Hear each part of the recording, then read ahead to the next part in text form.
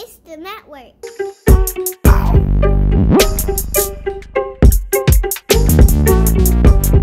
We're working on something right now called the 502 method, um, which is basically like commenting on uh, certain like niche engagers. So what we're what we're doing is we'll go on like a similar artist page, and then Mhm. we'll find the people that are commenting like the intellectual type messages, like kind of long comments that are actually like valuable, and then Yeah. we'll click on their profile and then go and comment like a kind of long comment on one of their pictures and like that picture, and then hopefully they follow back. If they follow them, we follow back. Uh, what do you what do you think about that method? I mean, I, I think it's all cool until you get to the if they follow follow back. That one part is not. I'm not big on. I mean, I like the fact that they followed y'all first and then y'all follow, but yeah, I'm just anything that ends in follow for follow is just not my vibe. Long long term, it's not the value that you're looking for.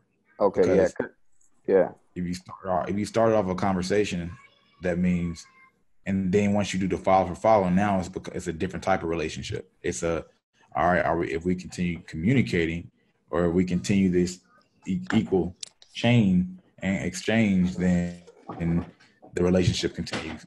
But if they become aware of you and they like you based on what you have, like what's on your page and who you represent yourself as, then they're being more positioned as a friend. I'm not a friend, a fan versus a friend and you're not trying to make more friends. You want your fans to feel like you're a friend, but you don't want them to be friend first because converting them into a fan, starting from a, fr- a friend is is just muddy waters and it's harder to do. And the support level What about the same. what about maybe not a friend, but just like someone that admires like one of their pictures?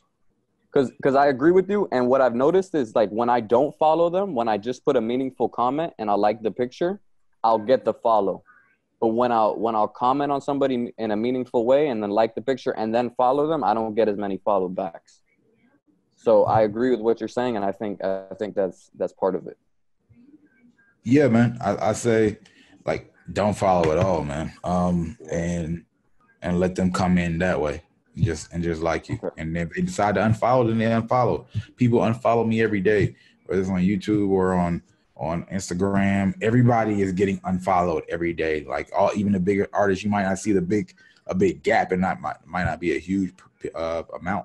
But if someone has a million followers a day, they are getting probably I, I I can't give you an exact number, but a, lot- a lot of times it's it's a thousand dollars.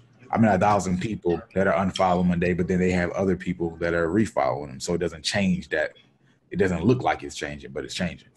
You know. So that's just a part of the game. Like that's just a part of the game. And people unfollow for a lot of reasons. I'm just trying to clean my life up and get rid. You know, like or I or I don't like this person. Like it's, it's so many reasons. You can't really get It's caught up. not in even that whole shit. personal. Yeah. You can't get caught up in that shit at all. That's why I barely even look at my like who's following me and whatever, just because I don't want to get caught up in that mentality. I'm trying to Um, find the balance of like actually connecting with people and doing what you said of like letting them know like I'm put uh, this is my music, this is for my music. I'm pushing my art, but also try to like create that personal connection to keep people coming back and keep people interested in the and and feel like you said like they're almost like my friend, but also that it's clear that my product is my music. You know that I'm here for my music.